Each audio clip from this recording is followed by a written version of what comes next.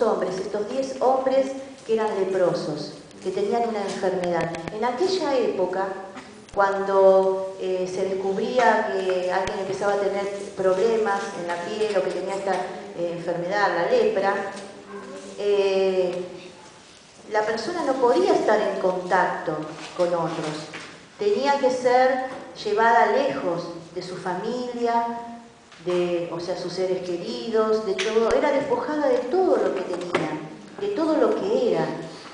Y el que en esa época estaba mediando un poco, el que se encargaba un poco de, de, ver eh, cómo estaba la persona, el que era un poco el médico, era el sacerdote.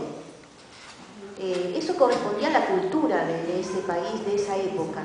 ¿no? Entonces él se fijaba. Entonces, eh, ustedes pueden leer todo esto en el libro de Levítico. Ahora no vamos a entrar, porque vieron, había muchos rituales, muchas cosas que se hacían. No vamos a entrar eh, en todo eso, pero si les interesa, después en casa pueden leer el libro de Levítico. Ahí está explicando todo acerca de, esta ley. Entonces, cuando la persona empezaba a ver que tenía problemas y que aparecían eh, síntomas de esta enfermedad, su obligación era decirle al sacerdote, le tenía que decir. Y entonces, eh, ahí nomás tenía que despedirse, si tenía hijos, si tenía esposa, si tenía familia, dejar todo lo que estaba haciendo hasta ese momento e irse a un lugar apartado. Ellos, estos hombres estaban por eso ahí entre Samaria y Galilea. Y resulta que no había uno solo. La historia acá nos cuenta, bueno, que había diez.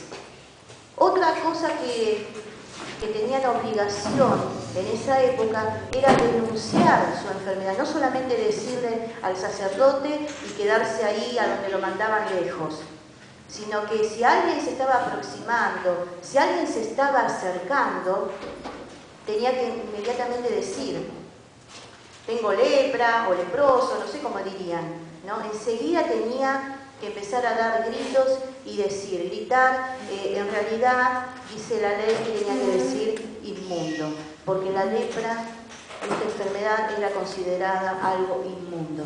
Entonces, por ahí no decía lepra, decía inmundo. Era un grito que tenía que decir, era una obligación. ¿A cuántas cosas estaba sometida esta persona? No solamente estar padeciendo un problema físico, no solamente eh, quedar marcado emocionalmente, o sea, en su psiquis, porque tenía que estar diciendo, bueno, soy declarado mundo Tengo que decir que, bueno, que ya no soy nada, que nadie se puede acercar a mí. Encima tenía que, que tal vez convivir con el recuerdo de cuando su esposa se habrá enterado, o su familia, o sus hijos, verlos llorar, porque no los iba a volver a ver más. Nunca más iba a haber un abrazo, nunca más iba a haber un beso, nunca más iba a haber un momento de estar en familia, de estar juntos, de compartir. No iba a estar todo eso. Escuchaba un día a, Dante Geber que hablaba sobre esto de los leprosos. Y vieron que él lo cuenta eh, más risueño, más chistoso, y decía, si nos queremos trasladar a esta época y tendríamos que denunciar que tenemos un problema, bueno, no vamos a decir inmundo. Y por ahí decimos, ¿qué enfermedades hay? A ver, nómbreme una.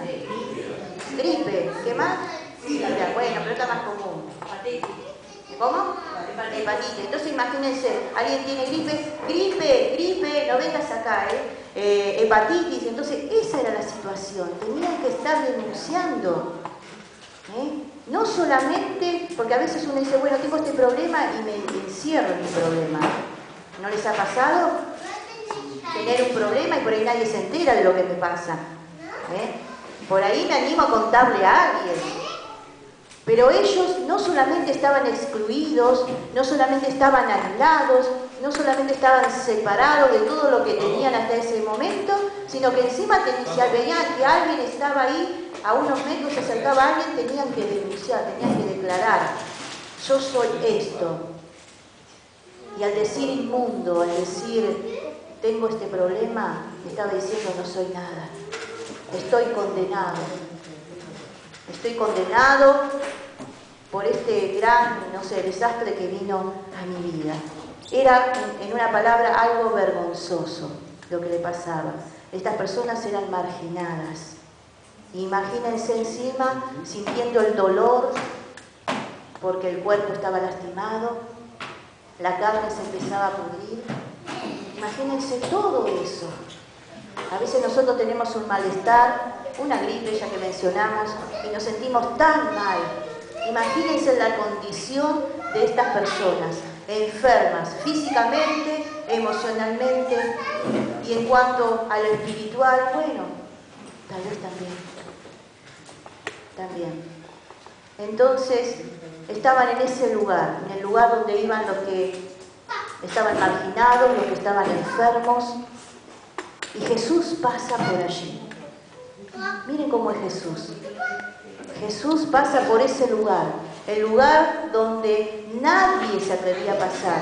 Él va por ese camino, porque para ir a, Jerusalén dice que tuvo que pasar. ¿eh? entre Samaria y Galilea. Había un propósito de Dios, había un propósito especial, no porque sí estaba pasando por ese lugar. Y para que nos ubiquemos, eh, podemos decir, ¿vieron en los lugares, las villas de hoy en día? Esos lugares muy apartados, donde uno ni sabe cómo vive la gente. Bueno, vamos a imaginarnos que así era el lugar. ¿No? Entre una ciudad con un montón de cosas, de, beneficios, y, otra ciudad que también puede tener beneficios, y en el medio, mira cuando se pasa por autopista y encontramos alguna de, alguno de estos lugares, y no nos imaginamos lo que puede pasar la persona, bueno, así tal vez era ese lugar. Jesús pasa por ese camino, pero ¿saben qué? Estos hombres no piden ser sanados. Jesús pasa por ese camino y ellos no le dicen, maestros sananos maestro, curanos de este problema que tenemos, curanos de esta enfermedad. No, dice que ellos se pararon lejos y empezaron a alzar la voz y empezaron a gritar. No gritaron inmundo, gritaron Jesús, Maestro, tené misericordia de mí, tené misericordia de nosotros.